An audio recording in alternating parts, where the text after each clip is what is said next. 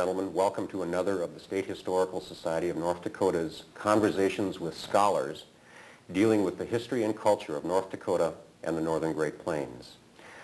As in the past, this series is funded by a grant to the State Historical Society of North Dakota from the North Dakota Humanities Council. And we're very pleased to be able to continue these series with the Council's support. Our guest is Dr. Robert Bruegmann from the University of Chicago. Our subject for this event and other series is the history and architecture of the North Dakota State Capitol. Welcome, Dr. Bruegmann. Thank you. To begin our, our conversation this morning, where does the North Dakota Capitol fit into the national uh, capitals around the state, around the states of, of, of America? Well, the uh, North Dakota Capitol is a real anomaly. First of all, it's one of the very few capitals that was done from the uh, First World War on, so that we have very few things to compare it with. A couple others have been done since then. Oregon has been done, and um, Hawaii is a recent example. But there are very few that have come after it. Um, in terms of what came before it, it really, is, again, is a very strange departure from tradition. The uh, previous capitals had all been, uh, virtually all, have one of two types. Either they were great colonnaded Greek temples, like the, uh, for example, the, the uh, temple at uh, uh, the Parthenon in Athens, the kind of thing that uh, Thomas Jefferson did when he started his design for the capital of Virginia. Or they were, on the other hand, they were copies, little copies, um, modified, of course, of the state of the um, United States Capitol with the great dome in the center, which is a tradition that ultimately goes back to Rome and to classical um, antiquity. But uh, North Dakota, for reasons that I'm not sure entirely clear, uh, comes at the end of this long tradition and it dispenses with both of those things so that you don't have the Great Dome, you don't have the colonnade. I think the thought was that because this was a modern, up-to-date state, that we needed a modern, up-to-date capital to reflect it. And the idea that somehow you would make it into a building of an era that is long since past was no longer necessary. So instead, the architects, in this case, um, well-known Chicago architects Holabird and Root, decided that they would take the two parts that were needed for the Capitol, it is the legislative chambers on the one hand, and then the offices, the bureaucracy on the other. They would put the legislative chambers in a building of its own, which has two um, parts for each side of the legislature, connect it with a memorial hall, a, a place to congregate, to gather before sessions and so on, and then connect that on the other side to a very high office building which would house the bureaucracy. Um, this was rather shocking at the time, and it hasn't really been followed up. It's, it's still rather shocking. It's quite a surprise to come on the airplane into Bismarck, look down and see the one tall building for miles around, and rather than having it be the uh, First National Bank and Trust of North Dakota, it is, believe it or not, the state capitol is quite a, an amazing thing. Are there other skyscraper capitals in the, in, in, the United States, and how does that fit with the North Dakota capital? Well, there really aren't skyscraper capitals. There are capitals with towers, and that's a long tradition, too. There have been towers marking public buildings all the way back to antiquity. But the, um, the, in the United States, there was a move to, to do this, to try to experiment with towers starting about uh, 1920 with the Nebraska State Capitol designed by a very famous architect, Bertram Goodhue who decided to put the um, Capitol in the shape of a great square right at the center of the town of Lincoln. And at the center of that, where the two axes crossed, he put a great tower. But that tower was mostly symbolic. It was a kind of a modern replacement for the dome. Um, this theme was taken up and expanded upon in the next decade, in the early 1930s, with the Capitol for Louisiana. And what the architects did there was to put the chambers, as was customary, on either side of a central feature. And now the central feature was a tower. It was, a, it was both a memorial tower, it was both a, a, a symbolic thing, but it was also, in this case, had offices in it. So that was the true prototype for, um, uh, for uh, North Dakota. But there are quite a bit of difference because in Louisiana, it was still a symmetrical building with the two wings separated on either side, and the tower was largely ceremonial. That was its main function, was a marker. Here, all of that symbolic content, that is the centuries-long tradition, was just thrown out, and the architect said, well, let's create a new tradition. If most of what's done in the Capitol is actually paper pushing, or important office work, let's say, uh, we might as well acknowledge that. Let's get a new symbolic um, form in which you've got a small, low legislative chambers, which suits their needs, which is actually used very seldom, only several months out of every two years. And then let's put the offices in the kind of form that's most convenient for them, which is in the 20th century a high office building. And therefore you get this form in which you've got the two things yoked together in what looks still to us, I think, rather strange juxtaposition. The, the, the skyscraper, you, you've used the term symbolic with regard to the skyscraper uh, motif several times. Um, how is it, what does it symbolize? Well, for us, I think, in the United States in the 20th century, it symbolizes offices. It has not always been this way. The, the tower, of course, is one of the oldest and most venerable forms of architecture um, from the time of the uh, Babylonians and the ziggurat um, and the obelisk and the pyramid right on through. It's always been a very potent symbol. Um, we, in our rather secularized, godless 20th century, have taken those sacred forms, which they were forms that were sacred. They almost always involved um, building something that was great deal more than just utility, and it was for the glorification of something more than just man. We have taken them and we've created something um, new, which is the uh, we can call it the Cathedral of Commerce now. Uh, the 5 and 10 cent store magnate uh, Woolworth put up the tallest building in the world. He called it very straight-facedly the, uh, the uh, Cathedral of Commerce because this was a great symbolic skyscraping form usually reserved for the worship of God now in the, in the uh, service of 5 and 10 cents. So basically what you have is a, is a process that takes it from the worship of God to the worship of commerce, and where does government fit into this symbolic uh, uh, uplift uh, of, of, a skyscraper? Well, I guess if you were cynical, you would say that uh, the earlier forms, using the dome, for example, the dome of St. Peter's, to use it on the American Capitol, was a good sign that this was a God-fearing country, one that hoped that laws would be in accordance with divine will and that if you take this analogy a little further, you might say that in North Dakota they finally abandoned the idea and left God out of the equation altogether, that now our laws are done and, and um, the laws are enforced in the manner that you might do in Chase Manhattan Bank in New York. So I guess we've, we've taken our, uh, this may be a, a good symbol that we've taken our moral values and our ethical values from someplace else. Does it symbolize anything about the landscape, do you think? Well, that's an interesting question. Um, one of the things that you just can't tell about the North Dakota Capitol until you get here is the way it, it meets the site. It, it has a very large Capitol grounds, beautifully landscaped, and from this, you come up out of the soil, you have this kind of pla uh, plateau or ledge that you get with the, um, the hall and the memorial buildings. And they're in limestone. They're in very beautiful limestone, very beautifully put together, very simple. It's almost like a, a bedding kind of thing in a, in a stratified limestone quarry. And then you get to this tower, and the tower then suddenly erupts from the plain, and it's the tallest thing around. It's in a relatively flat rolling landscape. It is just the antithesis of nature. It's something that, that marks a spot.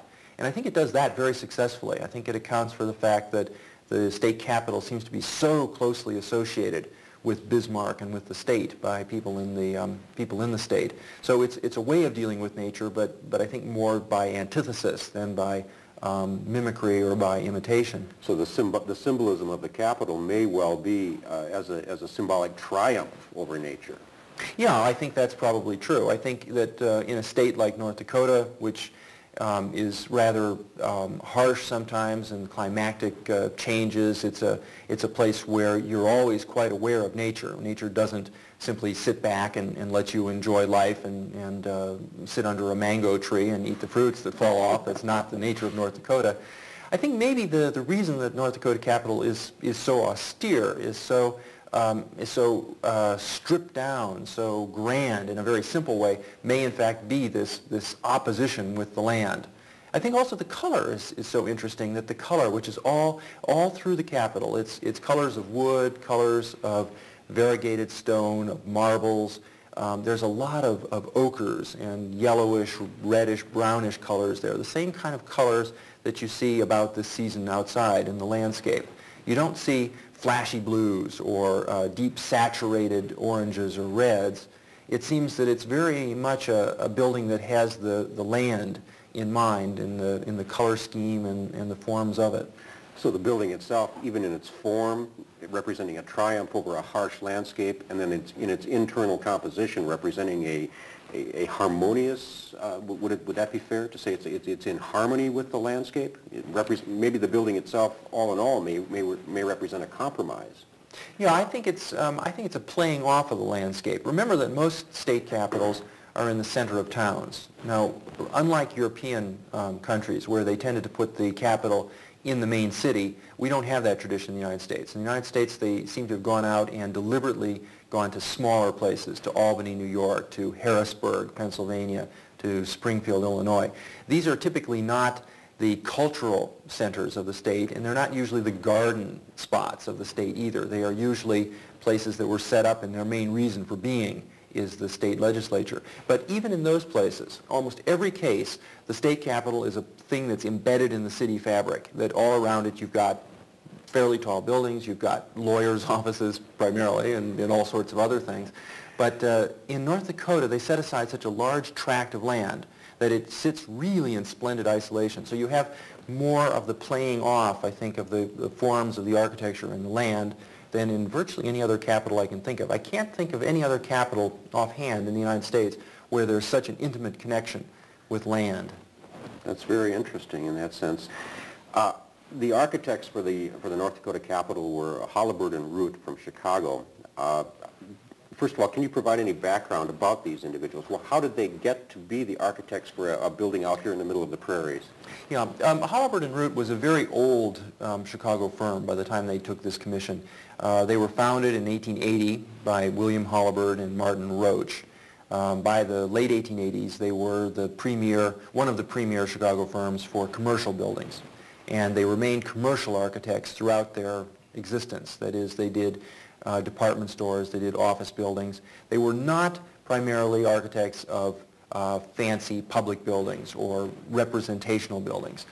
Um, the, as their career went on, the buildings got bigger and bigger. In the teens and the 20s, they became the Midwest's best specialists in hotels. They did most of the major hotels from the Muehlebach in Kansas City to the Deshler in Columbus, Ohio, um, three or four of the biggest hotels in Chicago, the Palmer House, and especially the Stevens, which was at the time the world's largest hotel and was that way for 20 years from the 19, mid-1920s.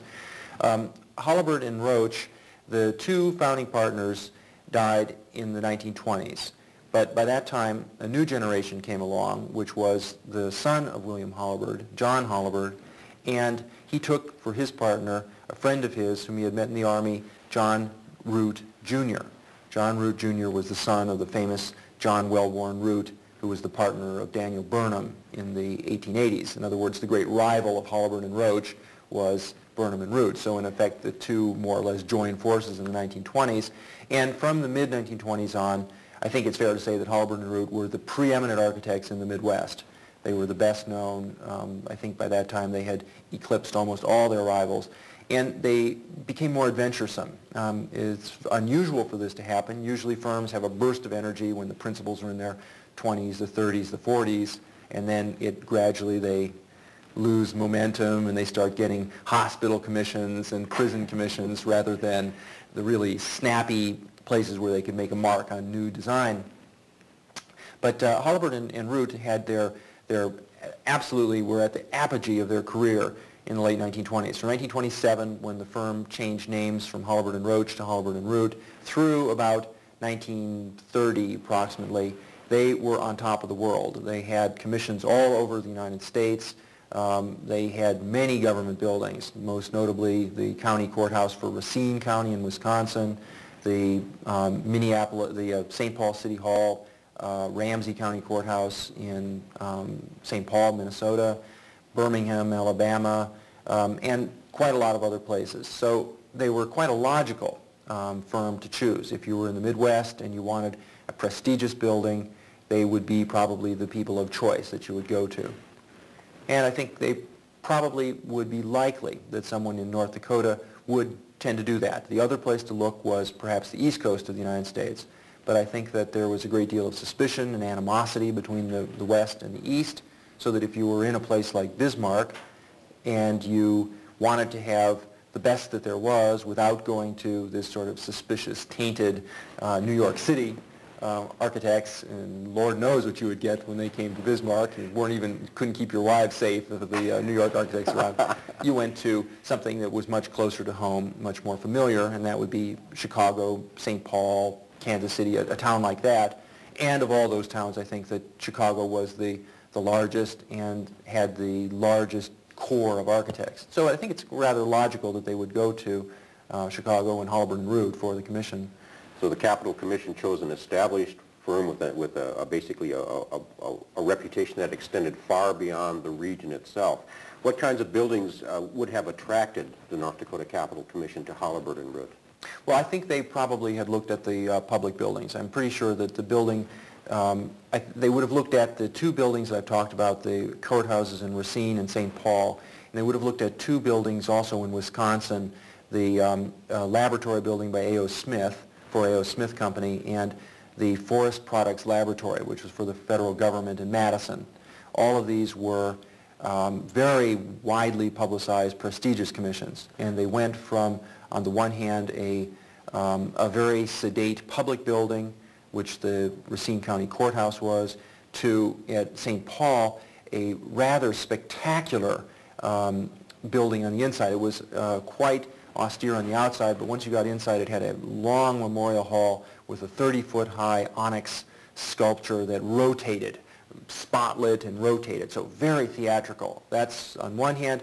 On the other hand, with Forest Products Laboratory and the A.O. Smith Labs, uh, these were among the most razzle-dazzle modern buildings of the era. The A.O. Smith building was almost a complete steel and glass curtain wall, years and years ahead of its time. So I think those were the buildings they probably knew.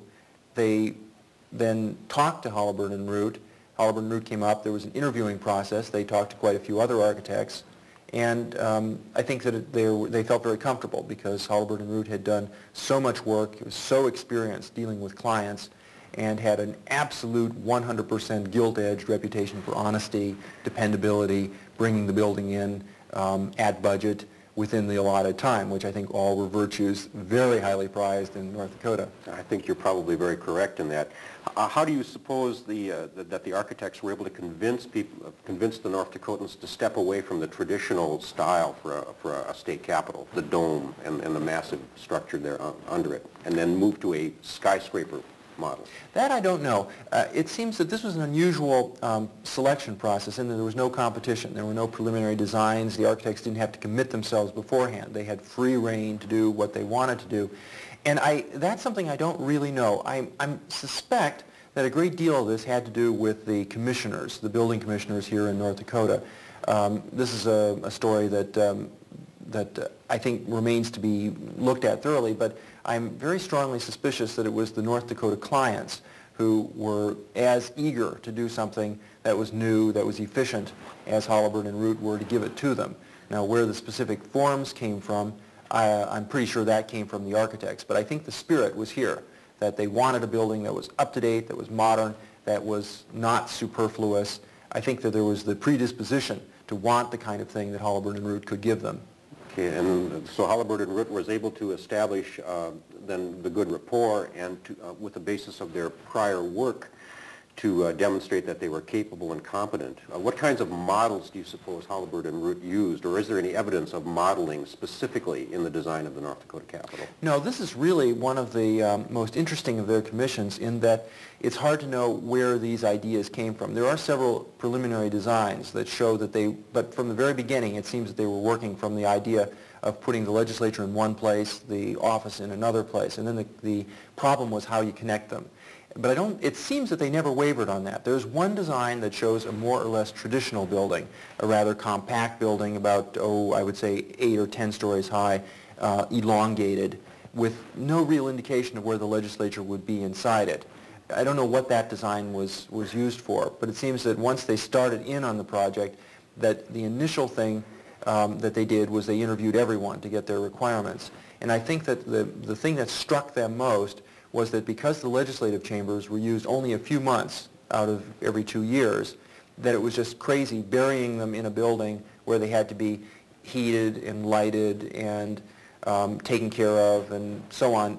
and that everyone would have to walk around and work around it. So I think that was the initial decision. You put it outside, you put it away where it can be left um, by itself when it's not needed, and you integrate all the other departments in the most efficient manner someplace else. And that, I think, is why the, the, um, uh, this dichotomy occurred. As far as a model, there isn't anything else that really looks like it. And uh, before, there have been a few things since, um, but really the United Nations building in New York, for example, is probably the closest thing I can think of to um, a, uh, a recent reusing of that form. You have the, the low building, a very sculptural form of the, the um, what is that called, the assembly building. And then next door, juxtaposed to it, in rather stark contrast, you have a beautiful glistening steel and glass skyscraper for the Secretariat where the offices are. Now, the North Dakota Capitol, of course, 1931 to 1934, was in a style that was still coming from the classic um, traditional style. It's actually um, symmetrical if you look at it along the long axis. If you look at it through the, the corridor between the legislative chambers, it's almost symmetrical on either side of that axis. With the United Nations, we're talking about 1948, 1952. We're now talking about a whole new era. This is the European modernist era. That building was heavily influenced by the great French architect Le Corbusier. And so you have an entirely different method of coming at it. But I think that because the fundamental way of deciding how the program should be expressed was the same, that you have forms that even though they're quite different in their execution, are very similar in the basic concept of the way they're disposed on the site. Now, if symmetry in terms of expressing the needs of government was part of the, of, of the motivating force of, that pushed the architects to provide this particular design. Uh, how do you explain the lack of attention to the court, the Supreme Court, which is, after all, one of the three equal branches of, of, of government here? Well, I think it's very, um, very odd all the way around. I mean, in the first place, if you look at the building um, the way it is, you say to yourself, with the two branches, well, if if you take anything like relative size or any other measure of importance, it's obvious that the bureaucracy completely overpowers the legislature. And notice that the governor, the main um, officials are at the grade level. They're at, the first, second, third floor, and that as you go up in the building, it becomes the minor functionaries, which seem to be exalted in that building. So I think it's perhaps a little bit strange as a kind of a, of a symbolic content, and probably a, a un, not really uh, desirable symbolism, but one that was unavoidable. Uh, because you could put the governor at the very top and, and have the building splay outward for have some kind of um, symbolism of that kind. But first of all, I think that that would make it more difficult of access. Um, that symbolically the governor ought to be closer to the people. And maybe it was just they said to themselves, well, it's really more honest this way. I mean, after all, government really is a lot of people working on their desks at the most mundane level. Why not just express that? But the, the fact that as you look at the building from on axis, it's that entranceway that's at the center, but it just doesn't have enough weight so that you've got the tower on one side, which kind of feels like it's pulling the composition off to one side. It, it really is a kind of a strange, it was a sort of a strange thing uh, to begin with. I think it must have left a lot of observers very uneasy. And then the question that you ask about the Supreme Court is even more troubling. If there are three branches, why is it that one of those branches is submerged entirely in one of the others and in the executive, um, not even remotely close to the legislative? So I think that probably was symbolically a major problem. It also was a very small room compared to the spaces that either of the other branches got. So I, I guess that probably you could consider that a, a, a problem, a flaw. I also suspect that the program here came directly from the state. I'm, I'm, sure the architects translated that. It wasn't their desire to make the Supreme Court uh, subsidiary. But the addition in which the Supreme Court now is, goes on the other side to almost balance the, um, the legislative chambers, that's a very logical extension almost. Now, of course, it's, it's very peculiar in one sense in that you've got this great axial way in a, in a garden leading up to the center of the building, and now you've added a, this huge piece onto the right, further unbalancing it. But in the other way, you can say that, yes, indeed, it, it may have tidied things up because now you have a, a, symmetrical composition around the, around the office tower. I guess the remedy for this, if you really wanted to, to solve it, is to move that whole park over about 50 feet, and, and then you'd have the thing right up to the, to the office tower. And then you'd really be celebrating the office tower. I guess there's no solution to this. Well, I'm, I'm very interested in, in, in this whole question of, of the symbolism of the building itself. And I'm wondering, uh, as you go up in the buildings uh, to the uh, 19th floor uh, observation tower, uh, why build an observation tower on a public building? I think the, um, the idea of an observation tower uh, is, has always been associated with high buildings, no matter what their usage was, from the Colossus of Rhodes on up through the Empire State Building. Whenever you did a building that was conspicuously higher, it seems like a natural desire of people to go up to the top. And I think it doesn't, I think that that probably is very little dependent on the function of the building. It's just as much true in the Eiffel Tower, which is a fair building, as it is for um, the, well, the, the, windows on the world and the, the uh, World Trade Centers. It, it really, I don't think matters so much. I think there's this natural inclination of people to want to get to the top of something that's conspicuously high. And I think for a public building, though, of course, it probably even has more significance because when you do get up to the top, you look around and everything you see is, is under the sway of that government. So I think there's an added symbolic um, content there um, and certainly is quite an impressive view from the, from the top of the North Dakota Capitol. And again, it has that, that feeling that you probably wouldn't get from any other capital, that you've got a rather small, fragile, man-made uh, community around it. And then beyond that, and quite quickly beyond that, you're out into the open countryside again, from whence the wealth and the, and the whole reason for North Dakota's being um, spring. From the land itself. Uh, did the capital serve uh, Holabird and Root's uh, reputation nationally or internationally? Um, that's hard to say. It was very much publicized, very much appreciated in the architecture journals. The big American architectural journals, Architectural Record, Architectural Forum, uh, covered it extensively and very sympathetically, very um, laudatory comments. But the timing of it was rather bad in that, um, well, the timing of Holabird and Root's career altogether. They were at the apogee of their career, the peak of their success in 1929, just at the time of the stock market crash. They had a few jobs that kept them going. This one was one of the major ones. Um, this was the biggest project, the biggest construction undertaking in the whole country for much of the time it was under construction. Um, then shortly after that, they did the work on the 1933 Chicago Century Progress Fair, and that as well was a great feather in their cap. So they were riding very high in the mid-1930s. The problem was there was no work.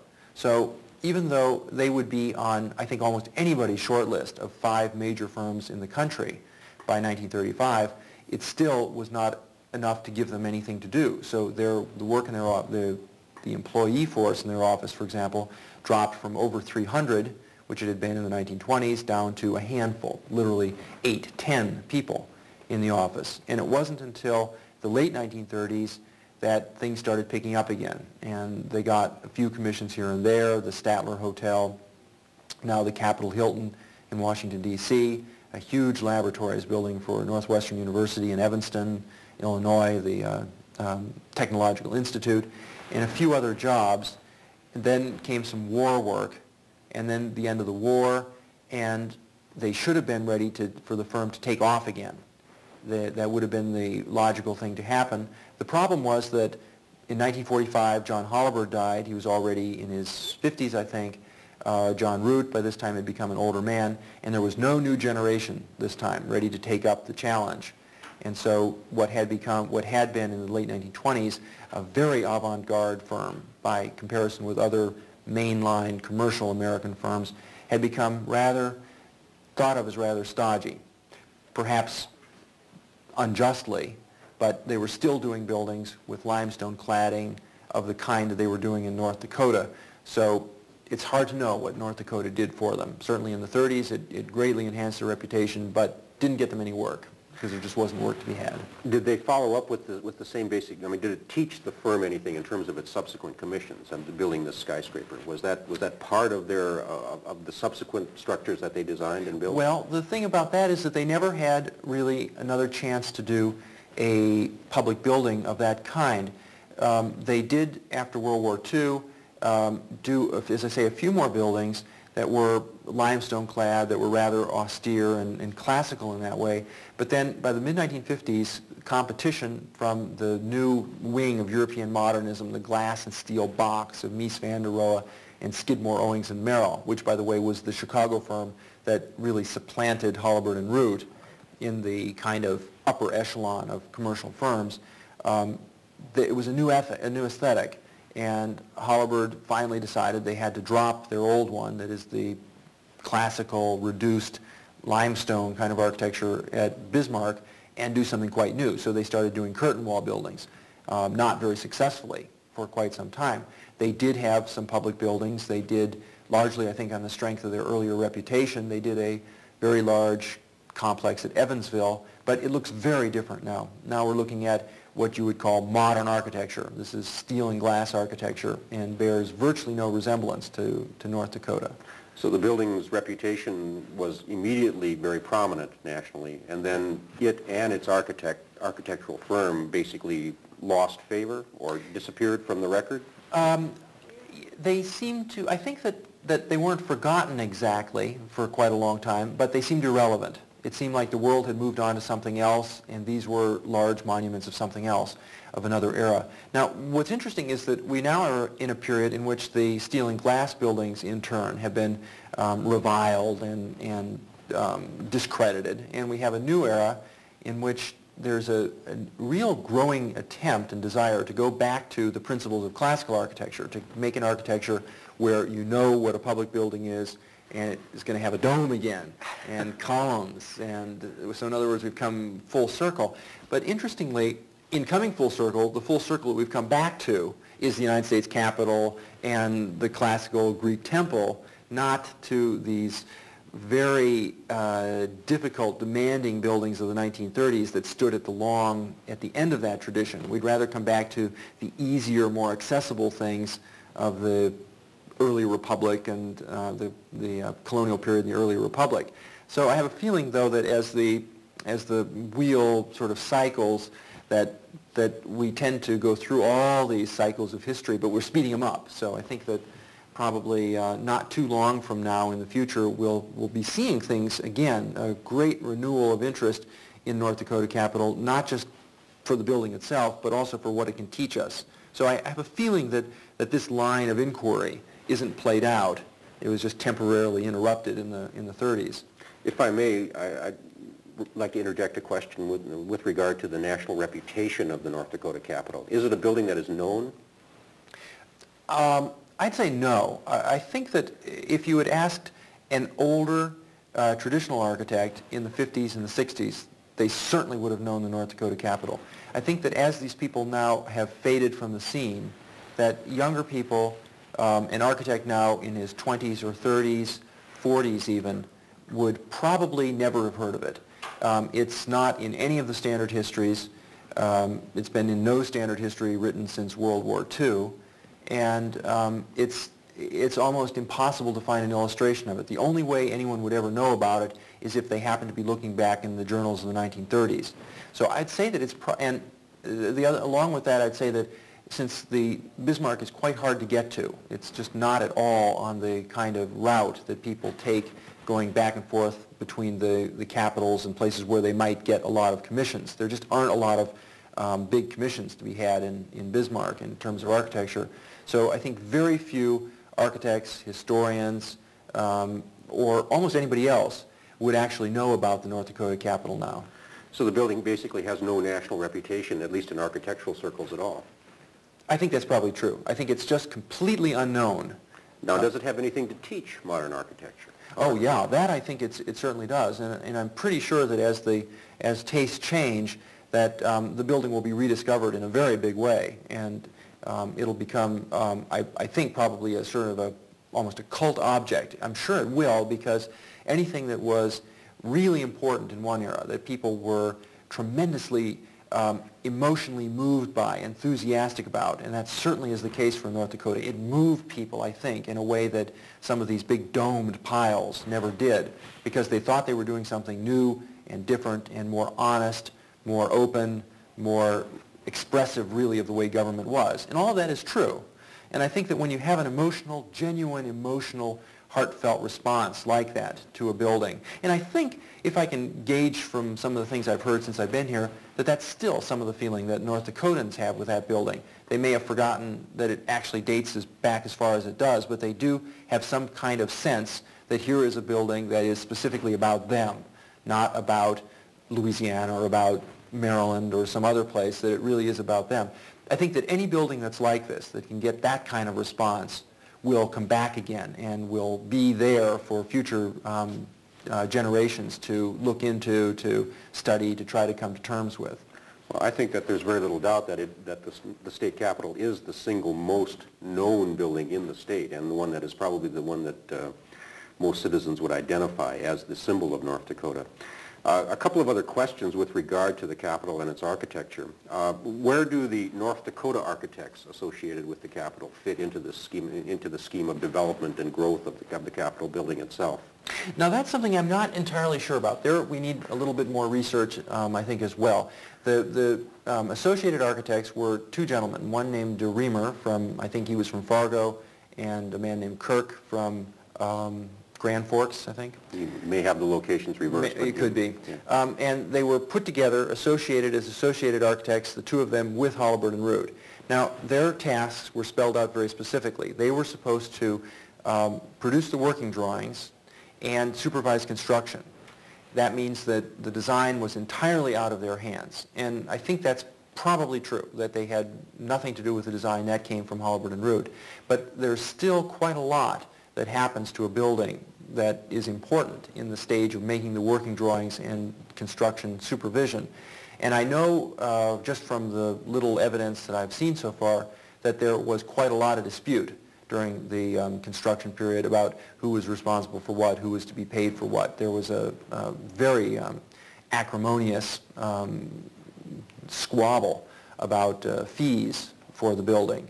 And uh, this went on for months and months and months. It was finally settled in a little parley in Minneapolis, um, uh, I think a year after the building was finished.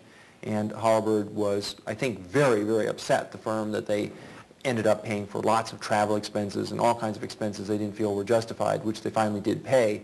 Uh, so I know that these, um, these architects didn't quite get along as best they could, but I think that uh, all things considered, it seems to have worked out pretty well because the building is one of the best constructed, best put together, most carefully detailed buildings anywhere in the country. So the partnership did indeed work out in terms of the actual construction. Yeah, I think that the, the squabbles they had about who was going to pay for the sick leave for the man from Kurke's office when he was in, visiting in Chicago and fell sick, I think those things no one will care about 20 years from now, just like they don't care about whether the Parthenon leaked. I mean, you're not, we're not worried about things like that in the, in the broader sphere, in the realm of architecture. I think we're worried about what actually was built and on the site. And I think there, one of the things that I think you can say about the North Dakota Capitol is that it, it bears scrutiny, probably bears closer scrutiny than, than almost any building of the era. Lots of buildings of the 20s and 30s that are much more uh, famous. Let's say, um, oh, just to pick one out of the hat, the Paramount Theater in Oakland, California a glitzy movie palace that was then remade into the home of their symphony. That's a very spectacular building. It's also a building that if you look very closely, you find every shortcut known to man in construction. It's a cheap building. Um, it's a building that went after effect at any cost. Well, not at any cost, in fact, at very little cost.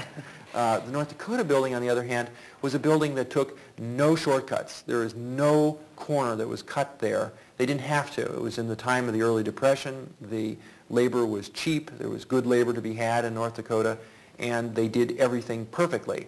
And that really tells in a building that's now over 50 years old, a lot of upkeep and maintenance help, but it's a, it is probably uh, one of the best kept, best maintained, best conditioned buildings um, in America from that era. There probably is no building that is in better shape and more intact than the North Dakota Capitol. I guarantee you, you could run for office saying things like that about North Dakota's capitol here. Um, let me try to put this, this Capitol building and extend and our conversation into a broader context at this point here. Uh, the state capitol came from a Chicago firm whose roots extended into the late 19th century. Now, what kinds of, of national and international philosophical impulses motivated the individuals who were involved with that firm? Well, I think that um, the, the larger picture that we have to look at this, the, paint, the picture we have to um, see it as backdrop against, is that in the world of architecture at large, the um, 20th century saw just upheavals and revolutions in culture. The new music, people like um, um, uh, the, the, new painting, people like Picasso and Matisse, um, the, um, the new atonal music, um, the, the, the absolute shock of the new modern world of James Joyce and literature um, was a, a profound um, change in the Western cultural tradition. And this European avant-garde modernism was, uh, took off in the 1920s. Then there was a very sharp reaction to it in the 1930s, then became established, almost institutionalized in the 1950s. That's the backdrop. And that backdrop was playing out on the continent of Europe while this was going on. In the United States, there was some awareness of this. People looked over their shoulders and they saw these shocking forms. Um, they may have heard about the riots at Paris at the opening of the Sacre du Printemps. But they, uh, this, was, this was largely something that was foreign to the United States. So I think in the United States it took more of a direct course, that it went from a more florid, classical architecture of the late 19th century through a purification period in the 1920s toward a rather stripped down, um, austere classicism in the 1930s. Now what's interesting about this is that by the time it got to that, through this long process of filtering, of purifying classical architecture, the result of it, ironically enough, looks very much like things that you might see in Moscow in the 1930s, in Berlin in the 1930s, in several other European countries, where they had gone through a phase of tumultuous modernism and then had come back to a more uh, solid, more traditional kind of architecture because they found that those new forms weren't satisfactory. They, they simply couldn't bring the people along with them. So Russian constructivism, probably the most dramatic experiment in 20th century architecture to throwing out the past, voiding altogether the classical tradition, had largely played its course. No, I shouldn't say that. It didn't play its course. It was squelched by Stalin is what happened, but it largely had come to an end by 1931. And the kind of architecture that you saw in Moscow in the 1930s was a very um, heavy, weighty, uh, ponderous classicism of the kind you get in the Moscow subway, which in the end looks surprisingly like the kind of buildings that you see in Bismarck, let's say, or um, if we're looking at Moscow as the extreme left wing of the spectrum, we can look at the extreme right wing of the spectrum and look at the buildings that, that Adolf Hitler was building in Berlin at the same time. The um, new Chancellery building, his plans for a great new Berlin. At both extremes, those buildings don't look very different from what you get right in the middle someplace with a building like the um, uh, North Dakota Capitol. So this worldwide ferment in the early 20th century led to a surprising unanimity of approach in the 1930s. And in fact, I think that if we were to say there was an international style of any period, that probably the stripped classicism of the 30s was as international as anything else we'll find. The North Dakota capitol then could as well fit into the into into Moscow or say Rome under Mussolini or Berlin under Hitler? Yes, it, I think it could have fit very, very well into those places and would not have looked strange. Um, it's also true of quite a few buildings in the United States, many post offices done by the WPA, um, some courthouses, federal buildings. It, it is very much of that um, type of building. It, it does, it's more careful and it's more thought through than most of those buildings. Um, it's not quite as, as glib and as formulaic, but that is the, that stripped classicism is the um, style that we're talking about. So we're talking about basically a, a, a, very clean style in terms of ornamentation. Yes. But we're also talking about a, a, a strict attention to, to functionalism as well. Is, is that true? Well, it's a, um, I think that the, the thing that, that distinguishes classical architecture perhaps from post-war architecture is that you start with form. That you, you get a form that you think fits a function and you stick with that. Whereas if you talk about post-war architecture, typically you say, let's forget about the form, let's put it aside altogether. We want X number of square feet for something. Then, let's see, the closest thing we want to it is this other piece that has X number of square feet. We put them together, and it's almost like a mechanical process. Then you get yourself a bubble diagram, so-called, um, and you put a wall around it. Well, it's completely the, that's the, the so-called modernist way of doing it, and it's completely opposed to the classical way of doing it, which was discrete units, rectangular, simple geometric solids, or semicircular sometimes, that were then uh, chosen for their appropriateness and then juxtaposed very clearly one against another in a kind of rational, um, usually axial symmetrical arrangement. So a completely different approach post-war to these 1930s buildings, even though the, the results sometimes look the same. So the North Dakota State Capitol is a building in which the, the parts each are very easily read, simple geometric forms that you can see from the outside. The other thing about it, of course, that you mentioned is that it's quite unornamented. There is almost no applied decoration in the North Dakota State Capitol. There are approximately a dozen, I would say, pieces of sculpture, um, relief and high relief sculpture by Chicago sculptor um, and artist Edgar Miller.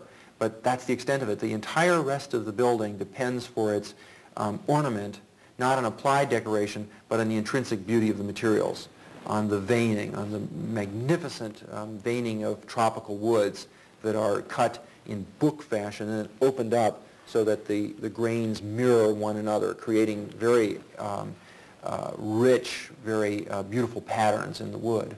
Is that uh, a characteristic of 1930s building as well? Uh, it is, of the best, yes. Um, because when you had a, a, kind of building that was as, as uh, bare, as, as stripped as these buildings were, if it weren't done in beautiful materials, it would look just terrible. It would look really um, shabby because there's nothing else to look at, nothing to pull, to draw your eye, no columns, no capitals, no pediments, no uh, large relief sculptures for the most part. So you have to have beautiful materials or it'll look terrible. Well, let me ask one other question with regard to the use of materials. Um, in the North Dakota Capitol, uh, although one is, of course, overwhelmed by the mass of the building itself, there's a lot of glass. There's an extensive use of glass in that building. Is, does that represent a compromise between the European constructivist traditions that, you you've been discussing? I may not have the terms right here, but the European traditions and then this more modernistic tradition of the, uh, that, uh, of the 1920s? And then you've said that the 1930s building represents more or less a compromise between those two traditions. Does that? I'm not sure it's a compromise, um, and I don't know to what extent it's actually a response to Europe. Uh, you can see it would probably come to the same thing in the United States, even if Europe had simply been set adrift and been someplace else. Surely Holabird and Root knew the people um, that were doing these revolutionary changes in Europe. They were not, they were interested but not entirely sympathetic. They believed, as did most Americans, as did most people generally, that the European modernist had thrown the baby out with the bathwater, that with all of the problems that traditional architecture had, it had some very good points too. The European modernists threw it all out. Now, Holabird and Root knew about the European modernists, and they were interested, but uh, they simply wouldn't, um, they, I don't know how much they actually borrowed. If they did borrow from Europe, it was more from what we would now call Scandinavian modern. That was a modern that was at once had many of the principles of European um, more radical modernism, but still love the fine materials, the, the warmth, the, the natural woods, the fabrics um, that had been traditional in architecture. That's where they probably looked.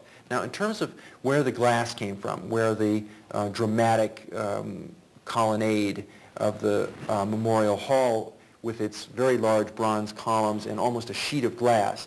That was striking and it was shocking and it was rather new at the time, but the origins of that I don't know. I think they are just as much to be found in American architecture, American um, office buildings of the early century that had huge windows necessary to get light in before they had electric uh, lighting, then you would need to go find it in Europe. Remember that the Europeans, for all that they talked, built very little someone like Le Corbusier, the most famous of all the European modernists, had built virtually nothing by 1931 when North Dakota Capitol was started.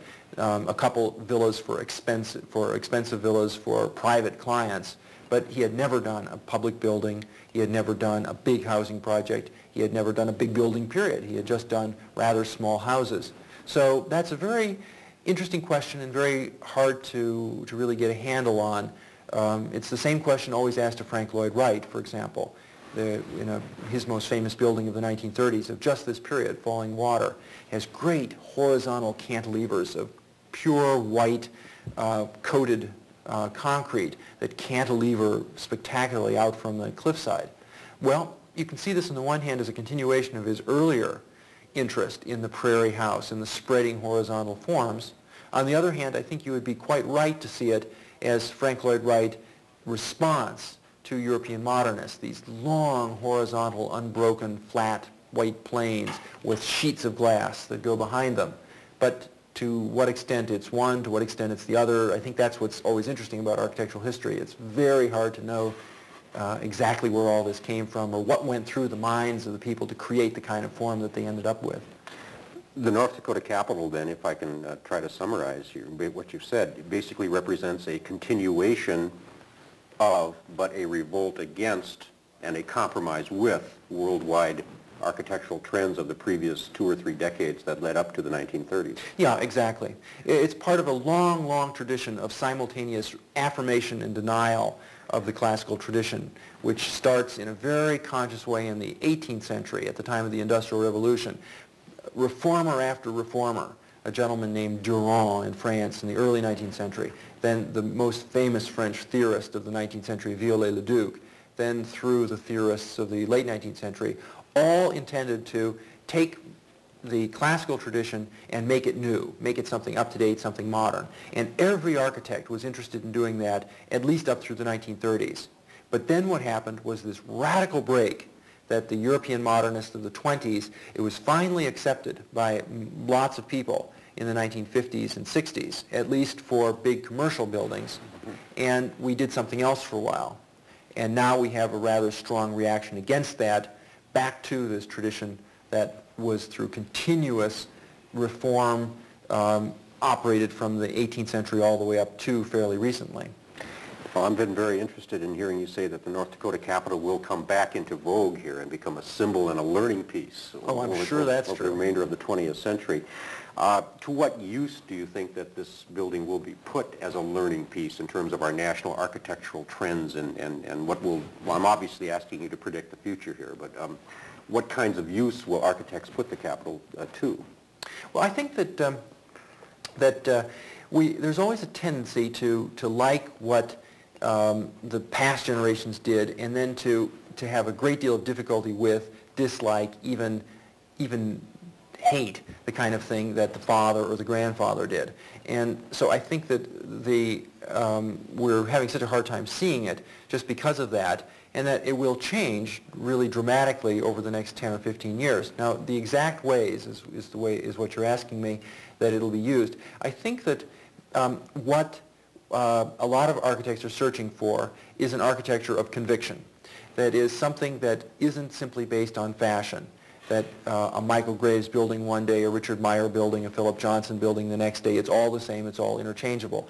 And they're all quite different one from another, different bases, different materials. I think this kind of um, scattershot, um, uh, will-o'-the-wisp kind of fashion architecture leaves most people very disquieted. They would rather have an architecture that seems to have more conviction, that seems to have um, some kind of system of beliefs behind it. Now, I think that when the North Dakota Capitol was built, there was a whole system of beliefs in place. And ultimately, if you get right down to it, this rests at, at the foundation level with a belief in a divine authority. You simply have to have that if you believe that there is an absolute beauty, if you believe that some things are inherently more beautiful than others. And the classical tradition rests on that assumption. So you pretty much have to believe in God if you want to believe of all those um, following um, kinds of ideas that flow from that that are necessary for a classical tradition.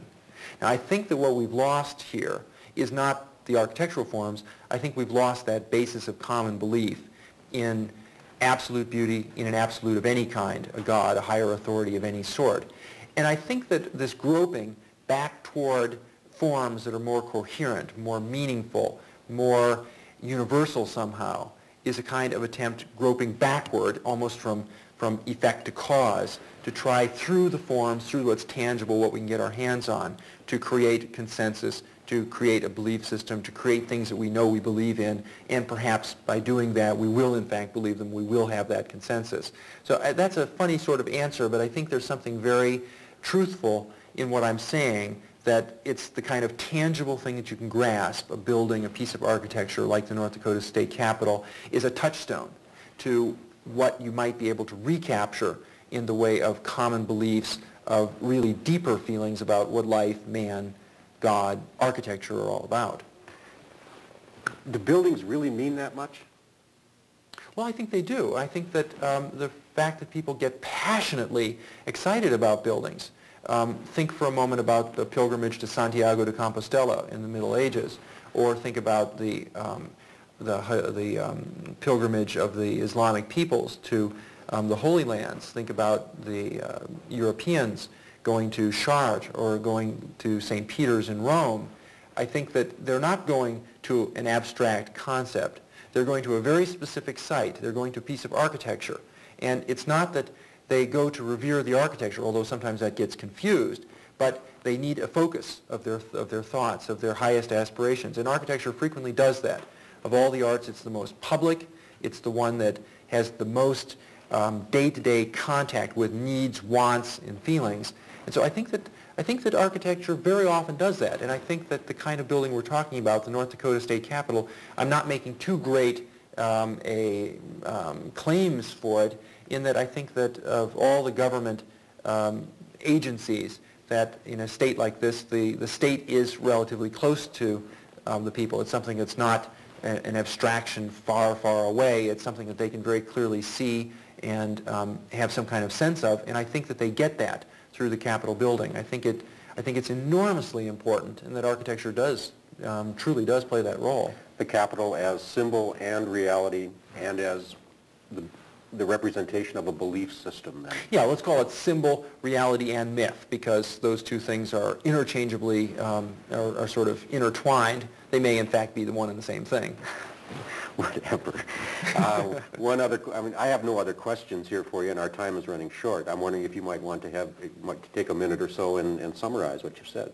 No, I don't want to summarize, actually. I, I uh, can't even remember what it was we have said. All. I think we've gone from the classical Greece to the moderns and from uh, agnosticism to uh, to the most Catholic of, of buildings and so on, so I don't know how we can summarize the whole world in two minutes, but I, I just did think, I would say that uh, that it has been such an interesting experience for me coming to see this building because I think of all the buildings that I've studied by this firm, there are few of them that I had less idea what they were actually going to look like because this building, more than any other, depends on the setting. It depends on where it is, depends on the light, it depends on the city, it depends on the fields around it. And uh, I think that uh, seeing it um, coming in on the airplane, seeing it at night lit up, just dominating the landscape, um, standing on the other side of the Missouri River looking across this great expanse of magnificent landscape with this um, lit up tower at the end um, has been a really interesting experience for me. I think more than any building of Holabird and Root's, it, it says so much more in reality, in, in place, in sight, than it does in the black and white photographs through which it's always known. Good. Thank you very much. You're very welcome. We've been discussing the North Dakota State Capitol with Dr. Robert Bruegmann from the University of Chicago. This is another in our series of discussions with scholars concerning the history and culture of North Dakota. It's funded by the North Dakota Humanities Council, produced by the State Historical Society of North Dakota. My name is Larry Remele, and thank you, ladies and gentlemen.